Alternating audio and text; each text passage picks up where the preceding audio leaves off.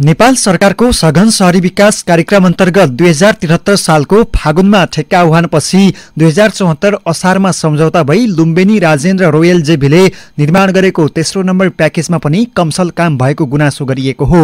कार्यक्रम अन्तर्गत निर्माण भएको धनगढी उपमहानगरपालिका वडा नम्बर एकको कर्बस्थान सडक शीतलमार्ग ज्योति बोर्डिङ स्कुल सडक कालिका टोल आउजी टोल बैयाबेहेडी सरस्वती नगर र शिवनगर जाली सडकमा कमसल काम भएको गुनासो गरिएको हो। निर्माणका क्रममा मापदण्ड अनुसार नाली निर्माण र सडक कालोपत्रे नभएपछि पानी निकास नहुने र दुबो उम्रिने समस्या देखिएको बताउँदै वडा नम्बर एकको कर्बस्थानका देव बहादुर पार्की। मेरो नाउँ देव बहादुर पार्की हो। म दुई शब्द बोल्न चाहन्छु। जो रोड बनिराखेको छ त्यस बारेमा हजुरले आफै आएर पनि हेर्न सक्नुहुनेछ। पानी नालीको छेउमा जो पोल छ रुखहरू छन् त्यस बारेमा के गर्ने भन्ने साधारण कुरोको हिसाबले भनिराखेको छ दुर्घटना त मेरो घरको सामने पोल छ। हुरी बतास आएर मेरो पुरै घरै उडाएको हो। कर्बस्थान सडकमा सातवटा रुख सडकको छेउ र बिचमा तथा झन्डै एक दर्जन पोल सडकको बीच र नालीको छेउमा परेका छन्। तेस्रो नम्बर प्याकेजमै निर्माण भएको शिवनगर जाली सडक समेत कतै कतै भाँसिन र भत्किन थालेको छ भने सडकमा पर्ने झन्डै तीन दर्जन पोल सडकको नालीमा बीच तथा छेउमा परेका छन्। सडकमा कमसल काम भए पनि नियमनकारी निकाय उदासीन बनेको आरोप स्थानीयको छ। शिवनगरका स्थानीय गोरखबहादुर थापा। सडक रूपरेखाले बिस मिलिमिटरको बाह्र मिलिमिटरमा त निस्क्यो आठ मिलिमिटर यो घाटा भयो। यस यो कोमेसल भयो कम भयो। यो सडकको आयु मेरो विचारले एक वर्षभन्दा बढी नजाला जस्तो मैले महसुस गरेको छु। अब यहाँहरू निरीक्षण गर्नु प्रदेशबाट हुनुपर्ने निर्माण व्यवसायीबाट हुनुपर्ने जनप्रतिनिधिबाट भइरहनु पर्नेमा पत्रकार जीवहरूबाट निरीक्षण भएकोमा धेरै खुसी छु आभार पनि व्यक्त गर्दछु। नेपाल सरकारको सघन सहरी विकास कार्यक्रमको तेस्रो नम्बर प्याकेजमै निर्माण भएको बैयाबेहेडी सरस्वती नगर सडकमा निर्माण गरिएको नालीमा पनि पानी निकास नहुने समस्या देखिएको छ।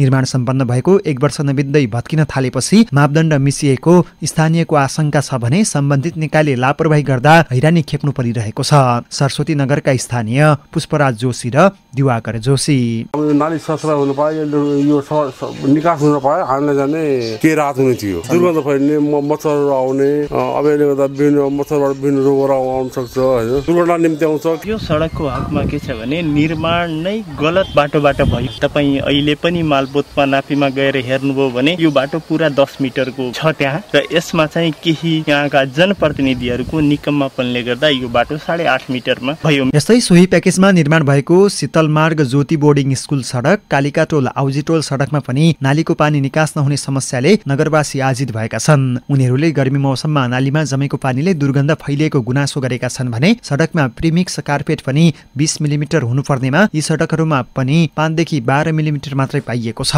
तर लुम्बेनी राजेन्द्र रोयल जेबीबाट निर्माणको जिम्मा लिनुभएका आसबहादुर गुरुङको भनाई यस्तो छ। अब कहाँ कहाँ के के भएको मापदण्ड भन्दाखेरि मापदण्ड अनुसार नै हामीले अफिसको डिजाइन अनुसार नै हामीले काम गरे हो होइन? अब काम सिद्धिएको पनि एक वर्ष भइसक्यो। सहरी विकास तथा भवन निर्माण विभाग संघीय आयोजना कार्यान्वयन निकायले पनि सडक कालोपत्री र निर्माण मापदण्ड अनुसार नै गरिएको दावी गर्ने गरेको छ। तर अनुगमन तथा सुपरिवेक्षण गर्ने निकायको उदासीनताले निर्माण व्यवसायी र कार्यान्वयन गर्ने निकायको लापरवाही बढेको आशंका गरिएको छ।